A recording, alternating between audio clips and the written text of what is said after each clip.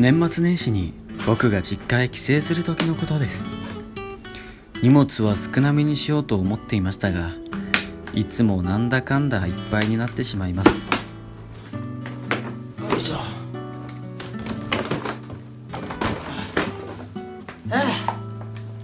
よいしょ。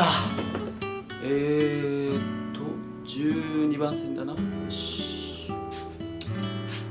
ああこれをしようかな発車まで少し時間があったのでお土産コーナーで買い物をしていくことにしました。悩むなこんないっぱいあるんだ。その時僕は時間を忘れていたのです。えやっばあと2分しかねえじゃん。急いでホームへ向かいましたが荷物の多いせいで思うように走れませんでした。やばい。そんな時でした。おお客様光号乗られますか？あはい。あじゃあ荷物ちょっと手伝いますね。あありがとうございます。あと一人行きまーす。